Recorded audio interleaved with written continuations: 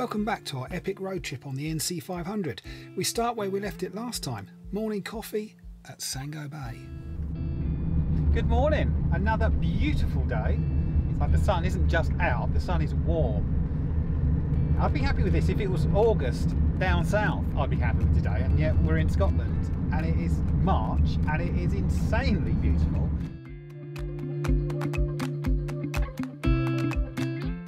First things first, we stopped off just down the road so that little legs could have a good old walk before we hit the road properly.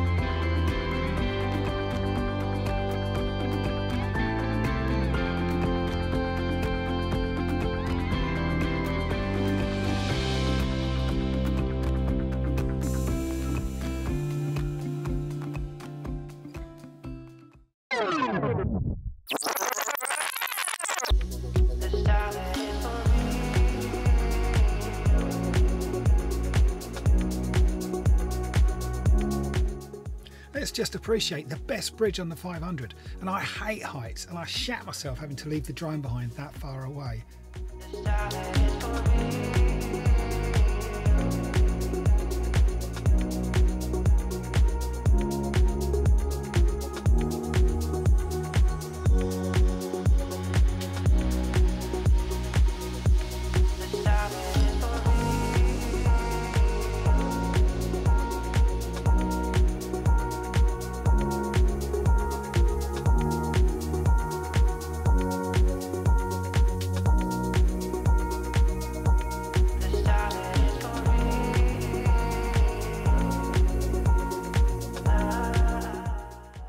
Now just drove through a really beautiful section. Um, I can't tell you where it was because it's one of those areas that has no signal, there's no data, no phone, the music goes off, everything stops, even the sat nav has uh, wiped out.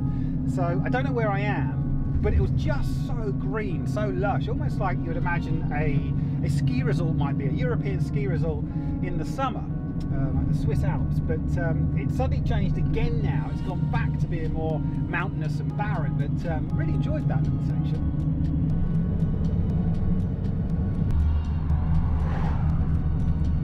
What's amazing, it's now gone five o'clock. The sun is so bright and still so warm. Literally, window open. What an evening. So it's reached that time now where what I'd like to do is find somewhere to park up and settle in for the night, get some dinner on, get a bit hungry now, and hopefully watch this sunset somewhere over the mountains, over some water. That would be ideal.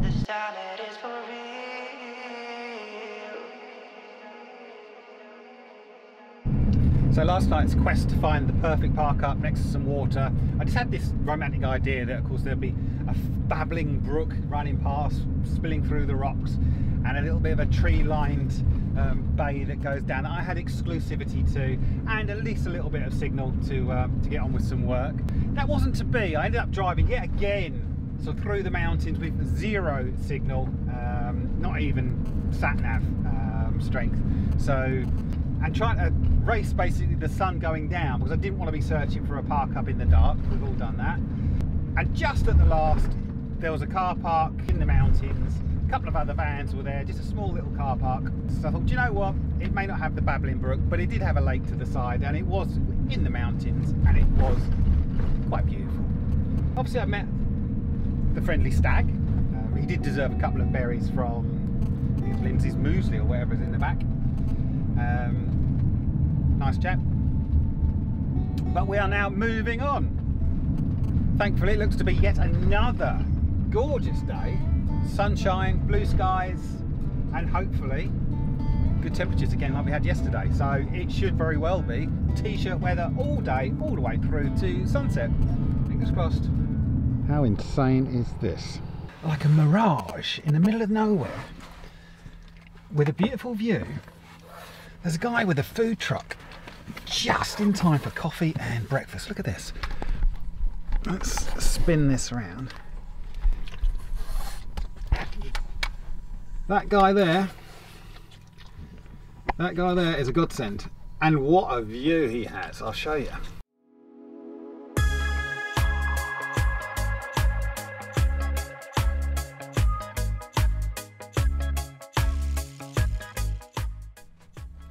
What a lovely way to start the day. Hey, Blue. That was so good. Really, really enjoyed that. That was good. Compliments to the chef. Thank you. What a lovely guy as well. From Lithuania originally. Been here for years. I wonder if there was a league of food vendor positions in the country. He's got to be in the top 10 there. What do you reckon? Leave a comment. Let me know if you found better than that. We'll start the league. Fortunately, there's a good scattering of petrol pumps around as well. So as well as a spattering of 24-hour stick your card in fuel pumps that are along the way, there's a number of public loos too. I stopped at this rather scenic one. We are now on the coastal path to the infamous Applecross. And I honestly couldn't be more grateful to be doing this in such peace and quiet and tranquility. I can imagine in the summer when it's just van after van after car after car after motorcycle and the constant pulling in and passing places can get a little bit annoying. But this is just bliss. We're just on our own. I'm really looking forward to this section and I'm savouring every mile of this trip. I'm well aware that I'm very, very fortunate to be doing it under these conditions. So I am just taking it all in and really appreciating it. How incredible is that? It's like a really massive sand drift. At first I wonder if you could board down it. Probably could, that'd be amazing. And secondly, I wonder how high up that cliff you could go and jump down and enjoy jumping into deep sand to, uh, to break your fall. That could be fun as well. Oh, and let's not forget there's some right handsome Highland coos along here.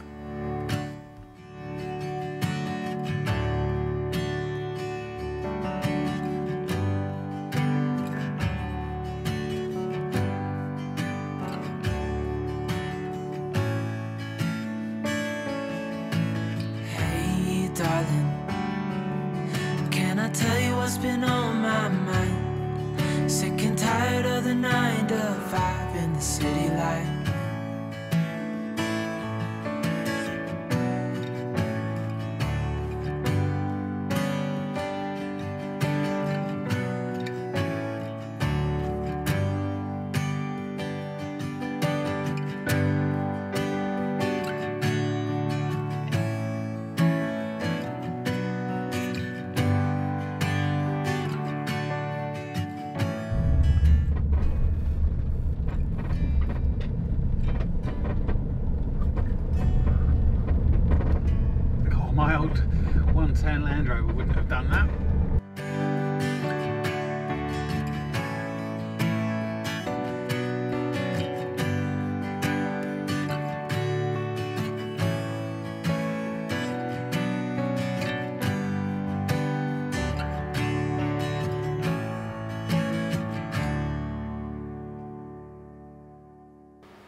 No, no, no! You come all this way and you have one magic moment ruined by a jag driver.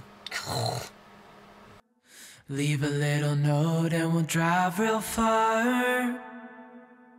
Let's get out, we can leave this city. Let's drive to the open air. Yeah, the countryside is so pretty with the wind blowing in your hair. Quite enjoyed that.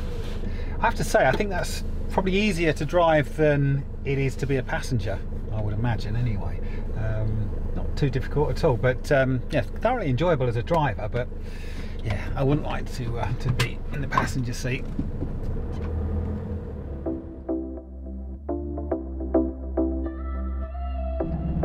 And good morning. We're now on a section towards Fort William. Seems odd now being on an A road to actually see traffic again.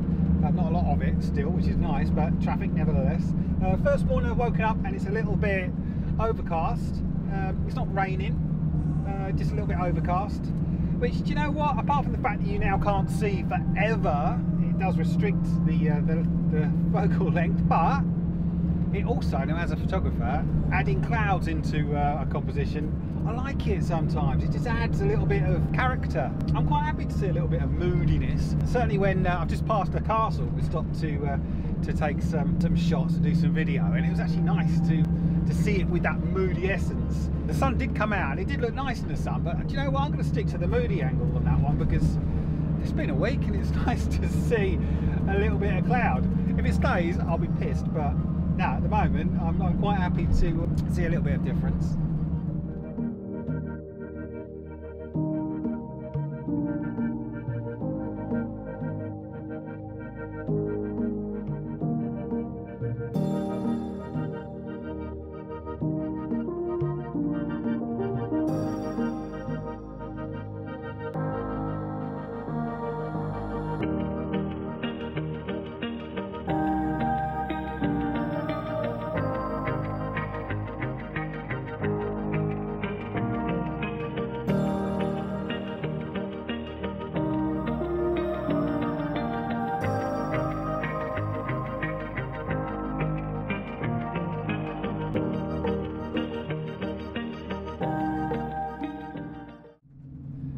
That was a culture shock. Arriving in Fort William, which is a quite big town, where suddenly you're struck with the big, bold colours and lighting of KFC and Costa Coffee, people everywhere. I'm not ready for that. I am not ready. I haven't acclimatised properly and I can't face a big town yet. So I hot footed it back into nature, had a look at Park for Night and found this little gem.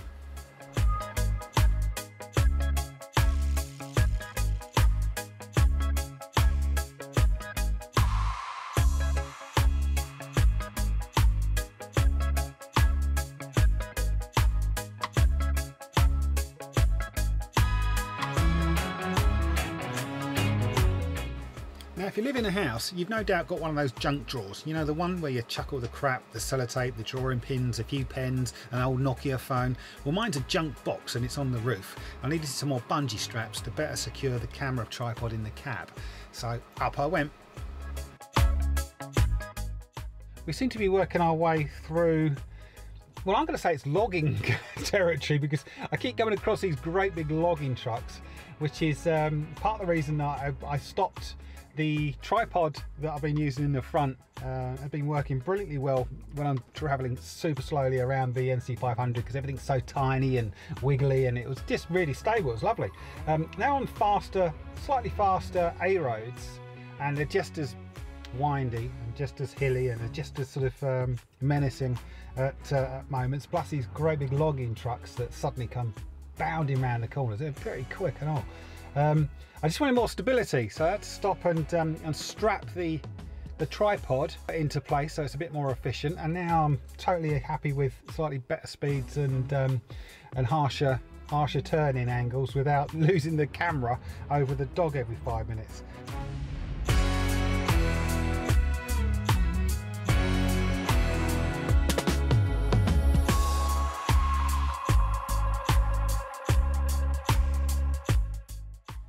To Dumfries and Galloway.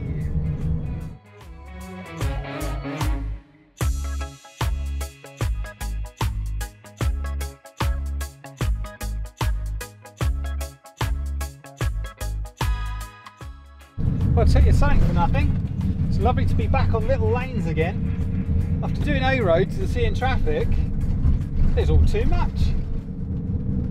But this is now slow pace again sun still blazing. We're en route to a um, to a park up that's been recommended to us by uh, Jamie at Trekk Vans. Now Jamie at Trekk is the guy that built this van. I'll leave his details uh, for his Instagram down below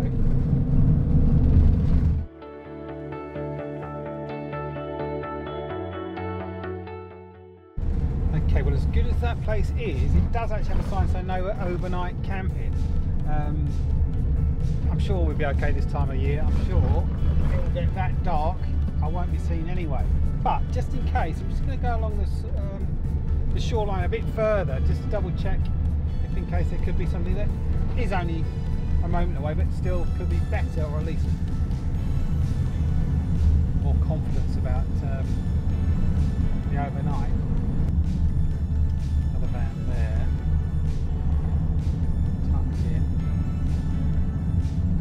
Got to be something. This is too good of a place to miss. And I want that sunset as well. Ah, pressure. Got to beat that sun. I've got to settle down before that sun goes down. Come on, let's get this done.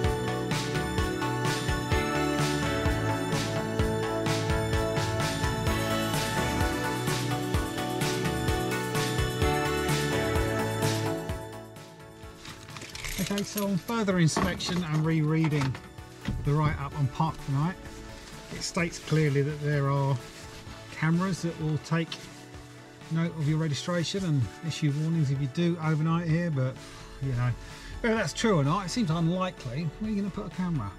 But I can't be bothered, you know, sometimes you just got to make a decision and move on. I just want to relax, and um, that's not going to be the case here, so we'll, um, we'll move on. Good morning. So the search for a site became a little bit more difficult. As I left here, it was getting darker and darker and I just couldn't find anywhere appropriate. I knew at some point I'd have to bite the bullet and start moving back down south because I've got to be picking up with Lindsay again this week. So I kept on driving and I ended up five hours later pulling in around midnight to um, Castleton again so I'm back in the Peak District as a, a good stopover marker uh, I've actually been here for a couple of days now it's been bliss it's been lovely there's been so many lovely people around the weather has been gorgeous um, I do need to move on at some point soon I'm down to my final little brownie um, I've still got a few supplies I'm running low on water but I could probably scrape another day or so out of this but um, I'm just going to suck it and see so I'm finally on my way to pick up Lindsay. We haven't seen each other for two weeks, which is the longest we've ever gone. Really missed her. Lindsay's back on board. Yes, I am. Had a good time?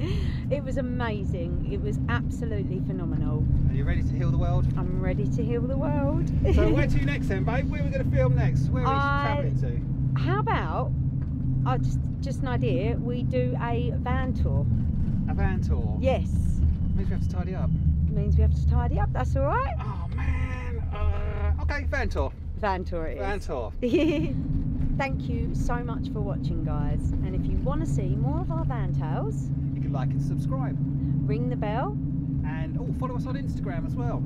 And remember guys, just do what makes your heart happy. Bye. See you next week. Serene tranquility, an absolute silence that I can't remember the last time I experienced, if I've ever experienced before. As a car goes past, motherfucker! I swear down, that is the first other car that I've seen in, well, as long as I can remember. That is ridiculous, believe me.